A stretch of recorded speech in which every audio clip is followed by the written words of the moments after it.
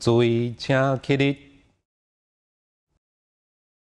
请共享文殊公宝上敬礼一鞠躬，请共享显空师父宝上敬礼一鞠躬。呃，各位信众，大家平安，欢迎来到行天宫汉语读经班。我们现在进行的是霍洛灵官。灵印真经的课程，那在进入今天的经文之前，那有一句经文跟大家来分享。所以跟大家分享的经文是出自于玉皇上帝弘慈救劫宝经里面的一句话：“推己及人，止于至善，则圣贤仙佛之位可期，灾殃祸患之凶能免。”这句经文的意思是说。如果我们能够设身处地的为别人着想，发挥爱心帮助别人，不但可以提升自己的道德涵养，并能够达到真诚美善的境界，将来更有机会可以获得圣贤仙佛的果位，而这个社会也因为我们的无私付出，更加祥和快乐。那请各位，我们接下来看《灵印真经》的经文。天我分怪妙，天我分怪妙，天我分怪妙，天我分怪妙，天我分怪妙，天我分怪妙，怪妙化必定。怪妙化迷定，怪妙化迷定，怪妙化迷定，怪妙化迷定，天我随心食，天我随心食，天我随心食，天我随心食，天我。随心食，天我随心食，太阴顺转轮，太阴顺转轮，太阴顺转轮，太阴顺转轮，太阴顺转轮，太阴顺转轮，天我杀法食。天我杀法食，天我杀法食，天我杀法食，天我杀法食，甘露冲雷霆，甘露冲雷霆，甘露冲雷霆，甘露冲雷霆。好，这一段我们来复习一遍啊。天我分怪妙，天我分怪妙，怪妙化迷定，怪妙化迷定，天我随心食，太阴顺转轮。天我杀法者，天我杀法者，甘露冲雷霆，甘露冲雷霆。这一段的经文是叙述说，王恩主非常的灵验。如果我们诚心的祈祷王恩主庇佑，浅无焚怪庙。焚怪庙的意思是说，如果百姓。我们的乡里的庙宇啊，被精怪妖邪所占据了，假冒神灵而鱼肉百姓，那王恩主啊，便会降下雷火来焚毁妖魔所占据的庙宇，这叫潜无焚怪庙，怪庙化为尘。那王恩主还有另外的庇佑，比如说，如果孕妇在面临怀孕生产的过程当中，如果有难产的情况出现，真心祈祷王恩主庇佑，那王恩主便会施展法力，庇佑母子啊，生产过程平安顺利，母子均安。那第三点，这里提到说，如果有人祈求王恩主要诛杀为非作歹、十恶不赦的恶人，这些坏人，所以这里说啊，遣无杀伐者啊，所谓杀伐者，就是说处置处罚那些为非作歹的恶人，那王恩主便会显灵啊，以愤怒的模样展现雷霆之威。加以制裁这些十恶不赦的恶人。我们看到，在这一段经文里面说，胎孕啊顺转轮，为什么要用转轮这两个字？我们说顺产跟难产的差别是什么？所以顺产就是头下脚上，这是一般人如果顺利生产的话，那难产呢，那就颠倒了，就是。头上脚下的情况，以前遇到难产哦，那这个没有办法手术啊，那这就祈求神明保佑了。那为什么在这一段经文里面说胎运顺转轮？我要跟各位解释哈，转轮的意思啊。我们知道十殿阎罗最后一殿是哪一殿？转轮王哦。那转轮王他的职责是什么？他就是面对这些世人、这些罪鬼亡魂。那判了罪之后，依你的罪福来评断你要怎么往生，要走哪个桥？所以它桥有分很多种，不是只有奈何桥一种哦，它有金桥、银桥、玉桥、石桥、木桥跟奈何桥，看你过去世是做了哪些好事还是坏事，经过一一个程序的审判之后，然后转轮王这边。轮回转世，所以转轮王啊，他也很尊敬你为人在世的时候，礼诵佛法、尊敬三宝的人。你到了这个地方，你的鬼亡魂虽然到了这个地方，也备受礼遇，甚至转轮王都会出门来迎接你。但是转轮王啊，他这一殿第十殿啊，还有一个最最特别的一个地方，大家一定知道哈，叫。欧望台，欧望台，一个九在一个区哈，一个九字旁在一个区，那个念欧，那是谁在管理这个地方？孟婆，啊，一个一个神仙叫孟婆。那你要轮回转世的时候，一定要喝这个汤。啊，其实孟婆汤其实喝起来就像酒，所以为什么这个地方叫欧望台？欧其实这个字就是一种酒的意思，喝了啊会让你不省人事。但是。我们去翻一些资料哈，如果人往生到了地狱审判之后，你有一些罪必须偿还的话，但是你在世有学过一些经典，比如说各位哈，你有学会诵学会诵经哈，你在十八层地狱的时候，你持经哈，你不会受到处罚哦。像它里面还说到，如果你有学易经的，或是会念咒的，那些鬼族是无法。处罚你的，那怎么办？你虽然你有诵经，你会持咒，你会译经，但是你过去是必须要受罚的。到了地狱之后，你到转轮王这边哈，他就会让你变成昆虫，一些一些比较低等的动物。然后这些低等的动物啊，出世一下子就回到地狱了，比如说虫啊。鸟类啦，那些这些低等动物，它让你轮回，再回到它这个地方的时候，目的是什么？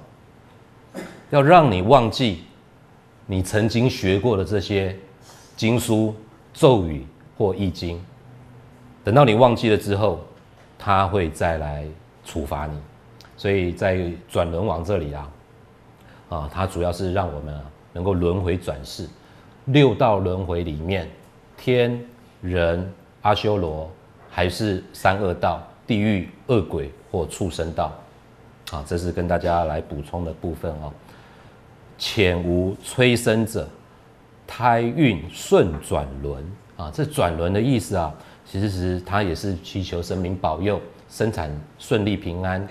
那转轮我们能够来衍生的，就是关于十殿阎罗里面最后一殿人啊，要投胎转世，他是必须经过这转轮王的安排啊。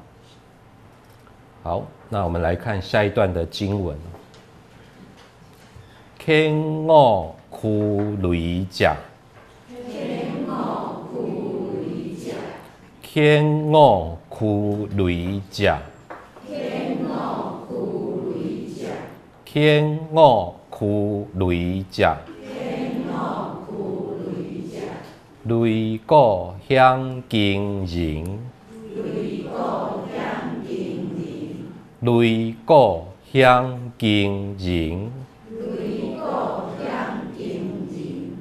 雷过香金人，雷过香金人，天我起红云，天我起红云，天我起红云，天我起红云，天我起红魂，天我起红魂，红魂借变形。红魂借变形，红魂借变形，红魂借变形，红魂借变形，天我救金冠，天我救金冠，天我救金冠，天我救金冠，天我救金冠。金边立面顶，金边立面顶，金边立面顶，金边立面顶，金边立面顶，金边立面顶。好，这一段我们来复习一遍啊。天我苦雷讲，天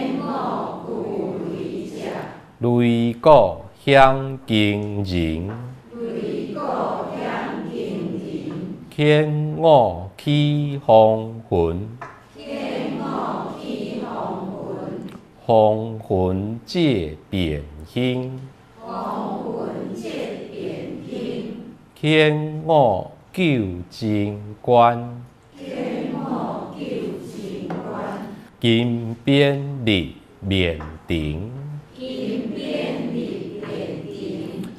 这一段经文的解释是说，世人信仰王恩主，如果诚心祈求王恩主庇佑，比如说希望祈求王恩主能够驱使雷电啊，所以在这一段说浅无驱雷者，那王恩主啊便会响彻惊人的呃私语雷声出现啊。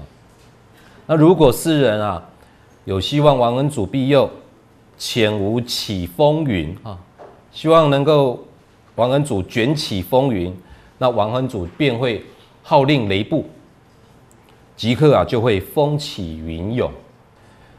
那如果凡间的神明行为失当，向我来祈祷，世人向我来祈祷，啊，我们知道王恩主是护法神哦，所以他这里说潜无纠正观啊，纠正啊。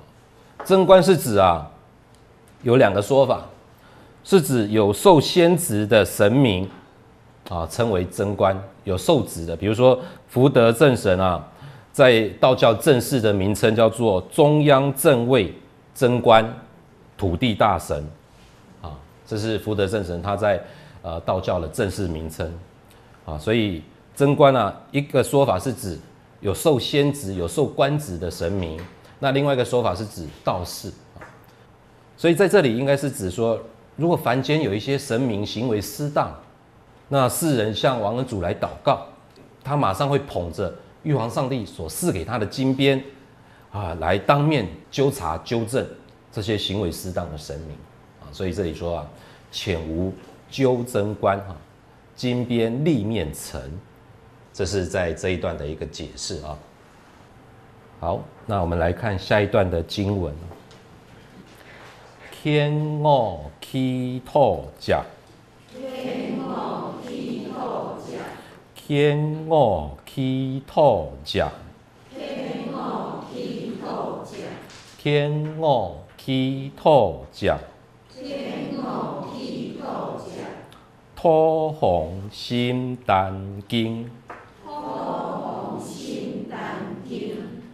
土红心丹经，土红心丹经，土红心丹经，土红心丹经，天我地温甲，天我地温甲，天我地温甲，天我地温甲，天我地温甲，天我地温甲，温思解扁行，温师解扁行，温思解扁行，温师解扁行，温思解扁行，温师解扁行，天我造地甲，天我造地甲，天我造地甲，天我造地甲，天我造地甲，天我造地甲，玉地尊我言，玉地尊我言，玉地尊我言，玉地尊我言，玉地尊我言。六地尊我言。好，我们这一段经文来复习一遍。天我起土甲，天我起土甲，土红心丹经，土红心丹经，天我地温甲，天我地温甲，温思解扁行，温师解扁行，天我造地甲，天我，有地尊我言。六地尊我言。这一段经文的解释是说，如果世人在遇到了有需要修筑、挖掘、动土的这些事情，向王恩主来祈求庇佑，那土皇啊，在过去里面是指管理土地的神明，啊，土地的主管，他有三十六位的土皇，为后土皇神的下属神灵，称为土皇。所以啊，如果有遇到需要动土、挖掘这些事情，那祈求王恩主庇佑，那三十六位土皇啊，都会心惊胆战，为王恩主之命是从。世人如果遇到大型传染病、疟疾，影响世人的身体健康，诚心祈求王恩主，那王恩主啊，便会施展神力。立即降服这些啊施行瘟疫的神明，所以在经书说瘟师即便降。那在这一段的第三句是说，如果凡间的信众有大型斋教的场合，比如说法会、拜斗这些大型斋教的场合，请求王恩主将众人的愿望向上苍来禀报，上奏玉皇上帝。玉皇上帝啊，会听到我所传达，便会立即恩准。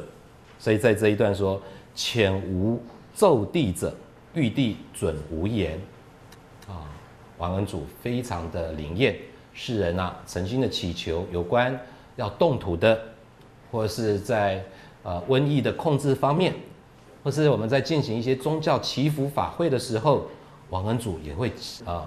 聆听我们诚心的祈求，这是这一段的解释哦。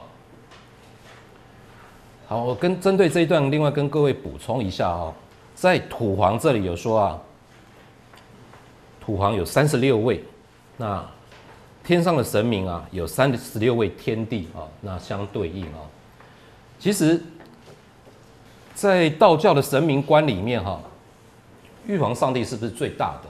哦，有些人可能还会搞不清楚哈。在道教的神明里面啊，一般来说啊，三清接下来就四御。三清是道教里面非常重要的三位神明啊。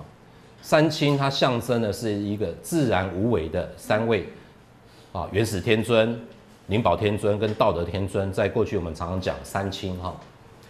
四御，我想不知道各位有没有听过这四御这个名词？四御它所代表的就是运作统帅天地的神明。三清既然是象征是一种自然无为的话，那你自然无为，毕竟还要有人管理嘛。啊，四御这四个神明就是负责管理天地的神明，其中有一位就是昊天至尊玉皇上帝。那这一位就是我们耳熟能讲的玉皇上帝天公众，啊，玉皇昊天至尊玉皇上帝。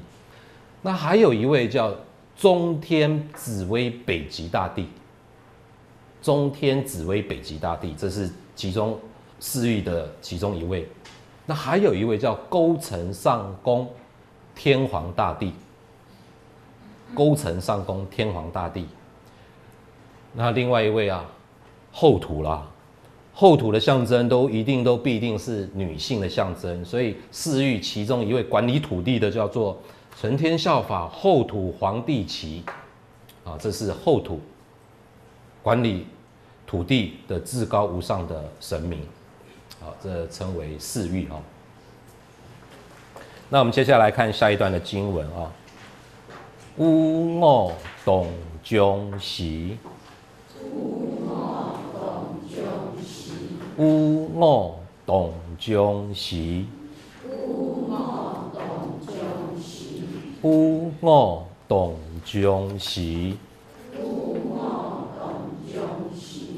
变为玉地形，变为玉地形，变为玉地形，变为玉地变为局地形，变为局地形，强逆发世弯，强逆发世弯，强逆发世弯，强逆发世弯，强逆发世弯，强逆发世，弯救众生誓愿救众生，世愿救众生，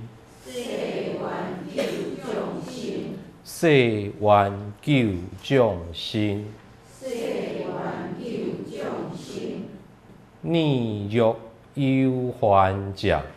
逆欲忧患者，逆欲忧患者，逆欲忧患者，逆欲忧患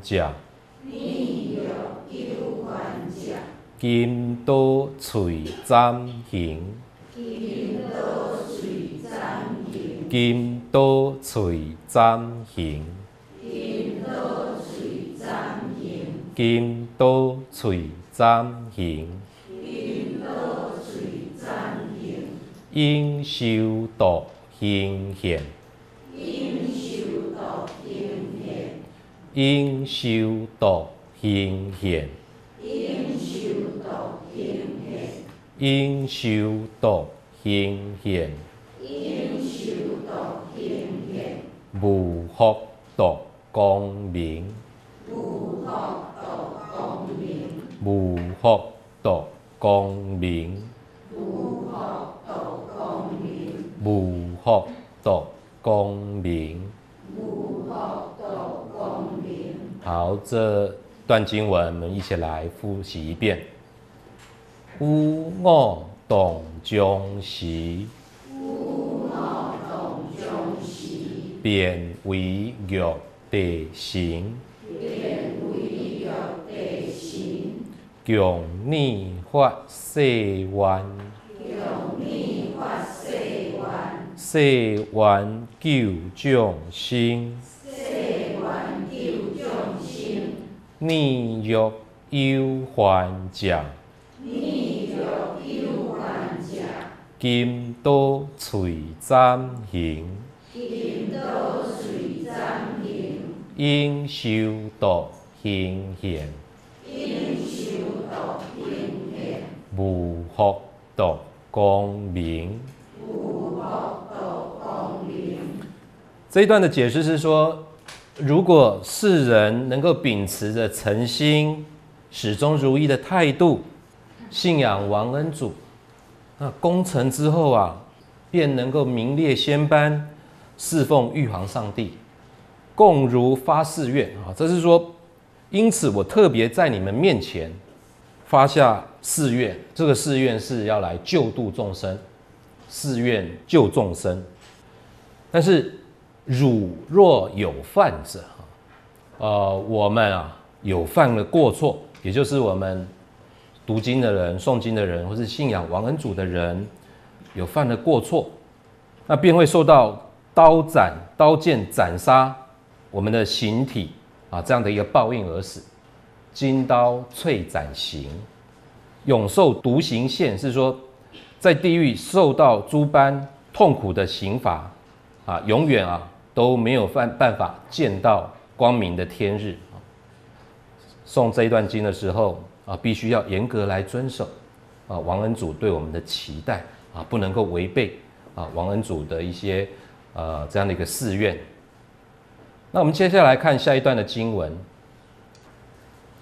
逆欲自乎色，逆欲自乎色，逆欲自乎色。逆欲自负色，逆逆欲自负色，万劫失人心，万劫失人心，万劫失人心，万劫失人心，万劫失人心，我欲自负色。我欲自负色，我欲自负色，我欲自负色，我欲自负色，我欲自负色，应色配魔棍，应色配魔棍，应色配魔棍，应色配魔棍，应色。配魔棍，逆欲红我者，逆欲红我者，逆欲红我者，逆欲红我者，逆欲红我者，逆欲红我者，我行戒逆听。我行戒逆听，我行戒逆听，我行戒逆听，我行戒逆听。坤心红我者，坤心红我者，坤心红我者，坤心红我者，坤心红我者。我当所现行，我当所现行，我当所现行，我当所现行，我当所现行，我当所现行，不是何我好，不是何我好，不是何我好。不是何我好，不我不负担定，我不负担定，我不负担定，我不负担定，我不负担定，我不负担定，若是何？我好。若是好五好，欲是好五好，并地现真形，并地现真形，并地现真形。好，我们这一段来复习一遍啊。逆欲自负世，逆欲自负世，万劫失人心，万劫失人心，我欲自负世，我欲自负世，应世配魔君，应世配魔君，逆欲。红我者，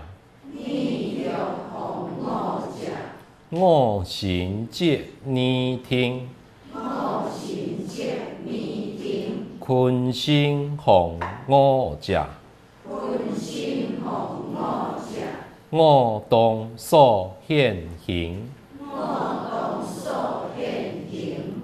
不是何我好。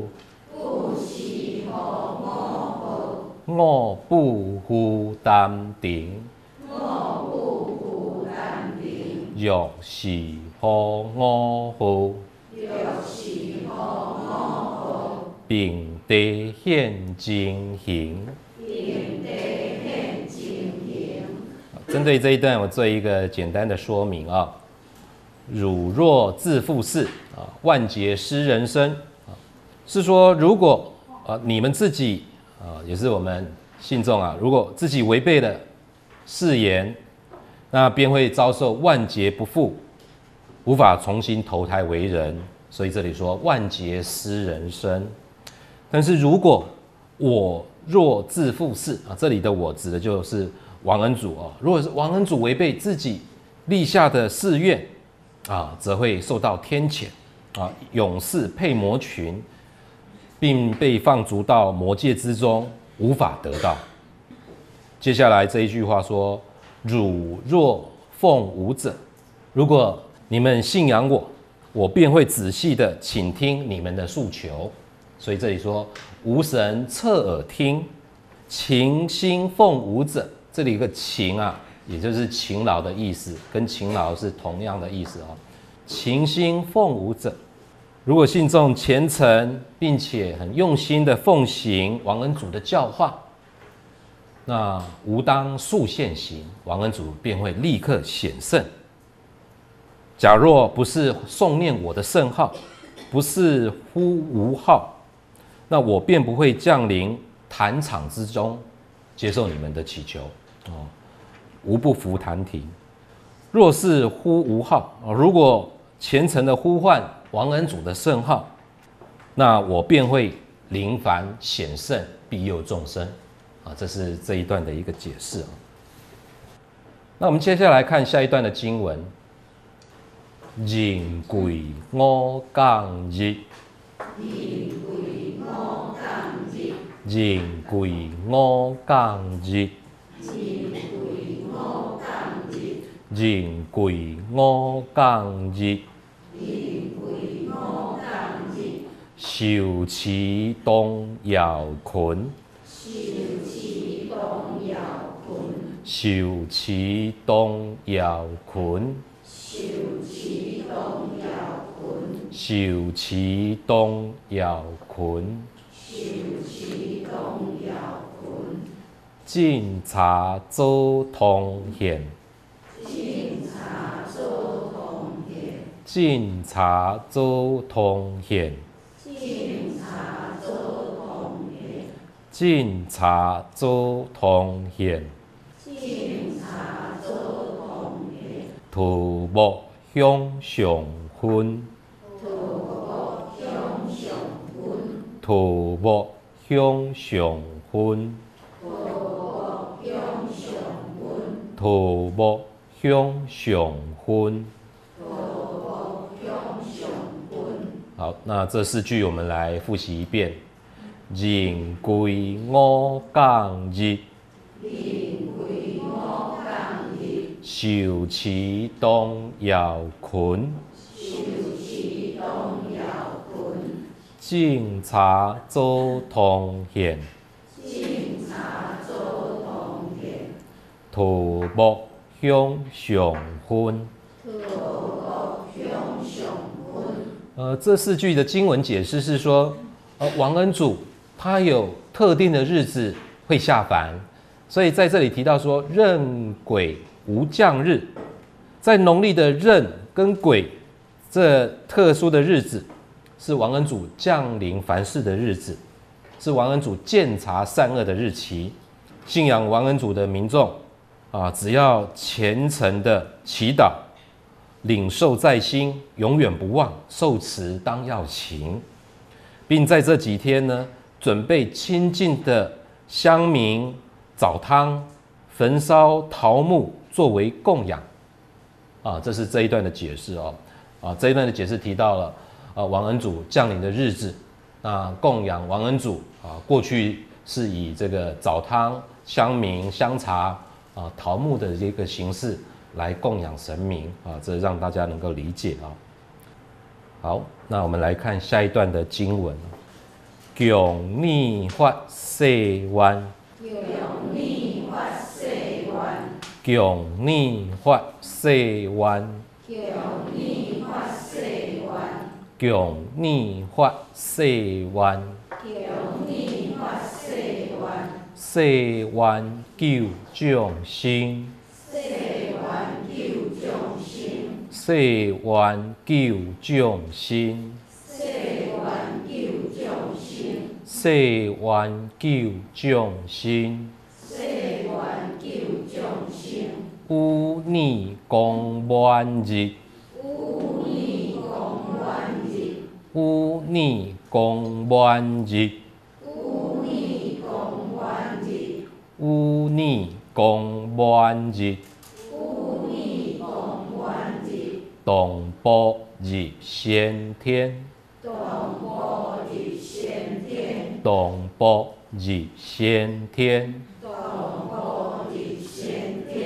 东坡入先天，东坡入先天，急急如万用上帝如林。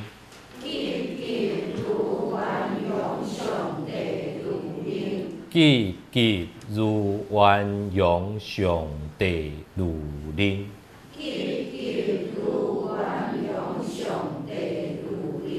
急急如万用上帝如林，急急如万用上帝如林。好，我们这一段来复习一遍。用逆法世弯。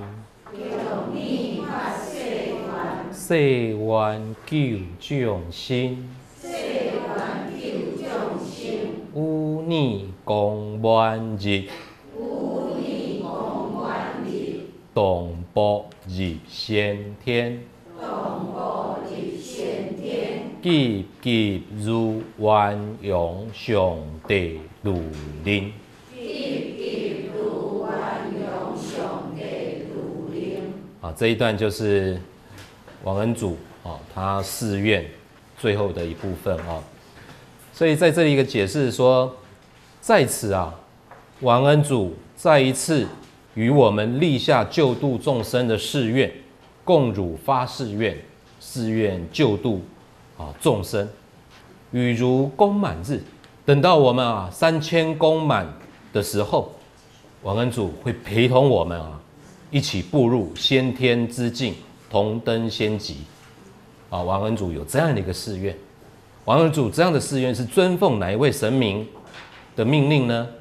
最后就说啊，这是尊奉无始天尊、元阳上帝他的命令所发的誓言。啊，这是这一段的解释啊。那今天我们所上课啊灵印真经的部分啊，在结束之前呢，跟大家分享全空师傅。